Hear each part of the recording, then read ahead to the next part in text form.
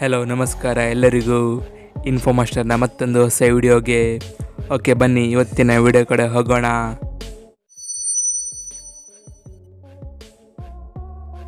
Fact number one ವೀಕ್ಷಕರೇ dance ಮಾಡುವಾಗ ವಿವಿಧ ರೀತಿಯ ಸ್ಟೆಪ್ಗಳ ಮೂಲಕ ಡ್ಯಾನ್ಸ್ ಮಾಡುತ್ತಾರೆ.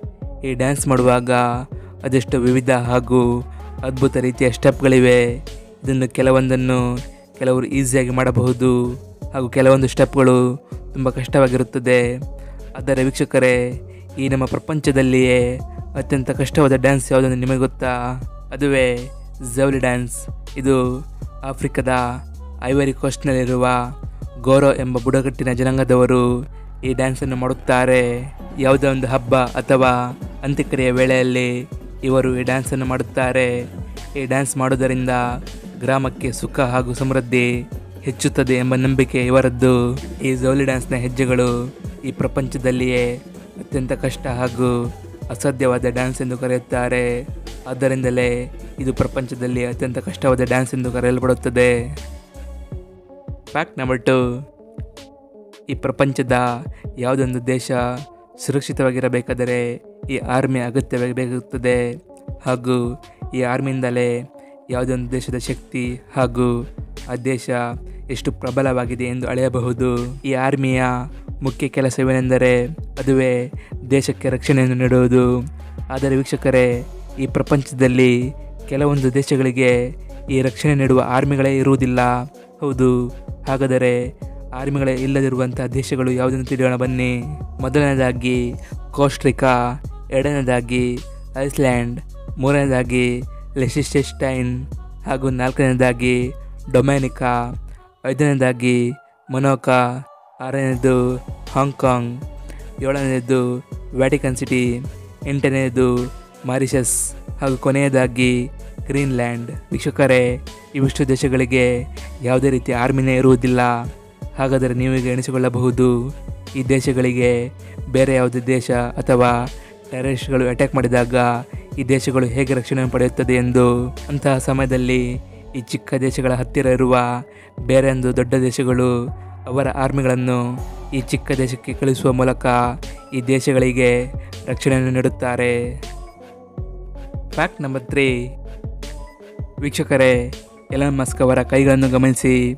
ಇದೇ ರೀತಿ ರೊನಾಲ್ಡೋ ಹಾಗೂ ನರೇಂದ್ರ ಮೋದಿ ಅವರ ಕೈಗಳನ್ನು ಸಹ ಗಮನಿಸಿ.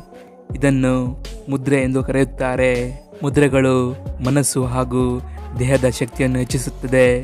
ನಮ್ಮ ದೇಹ ಪಂಚಭೂತಗಳಿಂದ ಮಾಡಲ್ಪಟ್ಟಿದೆ. ಗಾಳಿ, ಬೆಂಕಿ, ನೀರು, ಆಕಾಶ ಮತ್ತು ಭೂಮಿ. ಹಾಗೆ ಈ ನಮ್ಮ ಕೈ ಬೆಳೆಗಳು ಸಹ ಪಂಚಭೂತಗಳನ್ನು ಸೂಚಿಸುತ್ತದೆ. ಮನುಷ್ಯನ ಆರೋಗ್ಯ ಉತ್ತಮವಾಗಿರಬೇಕಾದರೆ ಈ ಪಂಚಭೂತಗಳನ್ನು ನಿಯಂತ್ರಣ ಇಟ್ಟುಕೊಳ್ಳಬೇಕು ಅದೇ ರೀತಿ ಈ ಮುದ್ರೆಗಳನ್ನು ಮಾಡುವುದರಿಂದ ಮನುಷ್ಯನ ಪಂಚಭೂತಗಳು ನಿಯಂತ್ರಣದಲ್ಲಿರುತ್ತದೆ. ವೀಕ್ಷಕರೇ, ಈ ಮುದ್ರೆಗಳಲ್ಲಿ ವಿವಿಧ ರೀತಿಯ ಮುದ್ರೆಗಳಿವೆ. ಆದರೆ ಇವರು ಮಾಡಿರುವ ಈ ಮುದ್ರೆಯನ್ನು ಉತ್ತರ ಬೋಧಿ ಮುದ್ರೆ ಎಂದು ಕರೆಯುತ್ತಾರೆ ಅಥವಾ ಪವರ್ ಮುದ್ರೆ ಎಂದು ಸಹ ಕರೆಯುತ್ತಾರೆ. ಈ ಮುದ್ರೆಯನ್ನು ಮಾಡುವುದರಿಂದ ಏಕಾಗ್ರತೆ ಹಾಗೂ ಆತ್ಮವಿಶ್ವಾಸ ಹೆಚ್ಚುತ್ತದೆ. ವೀಕ್ಷಕರೇ, ನೀವು ಸಹ ಈ ಮುದ್ರೆಯನ್ನು ಪ್ರಯತ್ನಿಸಿ ನೋಡಿ.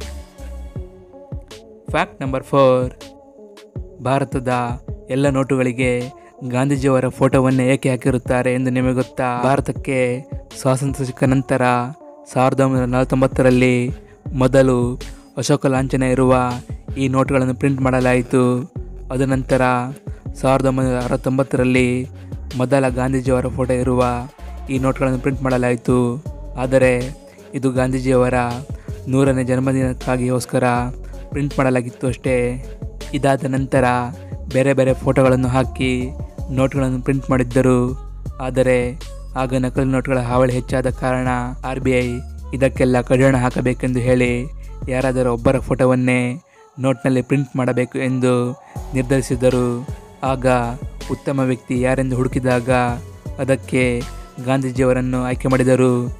ಇವರು ದೇಶಕ್ಕಾಗಿ ಹೋರಾಡಿದ ವ್ಯಕ್ತಿ ಎಂದು ಇವರ ಫೋಟೋವನ್ನೇ ಸಾವಿರದ ಒಂಬೈನೂರ ತೊಂಬತ್ತಾರರಲ್ಲಿ ಇದೇ ಫೋಟೋವನ್ನೇ ಫೈನಲ್ ಮಾಡಿ ನೋಟ್ನಲ್ಲಿ ಪ್ರಿಂಟ್ ಮಾಡಲು ಶುರು ಮಾಡಿದರು.